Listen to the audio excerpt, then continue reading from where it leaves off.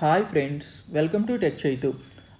Mahbubnagar Munirabad మధ్య railway line నిర్మాణంలో భాగంగా దక్షిణ మధ్య రైల్వే జోన్ వాళ్ళు మహబూబ్ నగర్ గద్వాల్ సెక్షన్లో ఉన్న దేవరకద్ర రైల్వే స్టేషన్ నుండి రాయచూరు వాడి సెక్షన్లో ఉన్న కృష్ణా రైల్వే స్టేషన్ వరకు కొత్త రైలు మార్గాన్ని నిర్మిస్తున్నారు.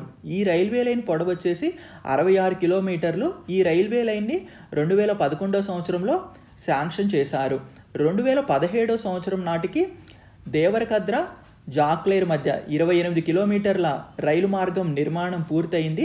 ప్రస్తుతం ఈ మార్గంలో డెము రైళ్ళు తిరుగుతున్నాయి.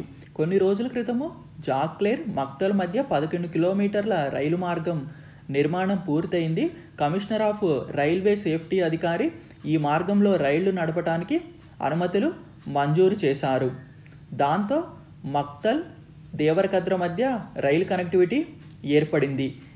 ఇంకా మక్తల్ కృష్ణా రైల్వే స్టేషన్ మధ్య ఇరవై ఆరు కిలోమీటర్ల రైలు నిర్మాణాన్ని పూర్తి చేయవలసి ఉంది. కృష్ణా రైల్వే స్టేషన్ వరకు రైల్వే లైన్ నిర్మాణం పూర్తయితే హైదరాబాదు రాయచూరు మధ్య దాదాపు ఒక ఇరవై కిలోమీటర్ల దూరం తగ్గుతుంది. ఈ ప్రాజెక్ట్ మొత్తం కంప్లీట్ అయితే హైదరాబాదు వాస్కోడిగామా హుబ్లీ మధ్య దూరం తగ్గుతుంది. ఈ రైల్వే లైన్ని మహబూబ్ నగర్ వైపు నుండే కాకుండా మునీరాబాద్ వైపు నుండి కూడా నిర్మిస్తున్నారు. ప్రస్తుతము గినిగెర కరాటాగి మధ్య రైల్వే లైన్ నిర్మాణం పూర్తయింది. ఈ రైల్వే లైన్ని సౌత్ వెస్ట్రన్ రైల్వే జోన్ వాళ్ళు నిర్మిస్తున్నారు.